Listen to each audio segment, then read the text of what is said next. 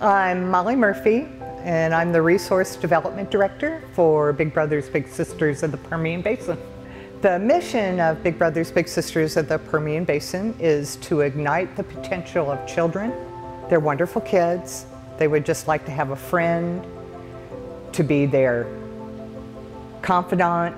What we'd like you to consider is being a big to one of our littles.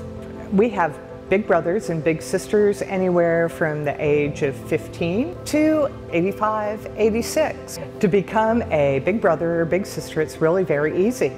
You can do two things. You can call us, we'll send you an application, or you can go online to our website, www.bbspermianbasin.org and fill out your application online.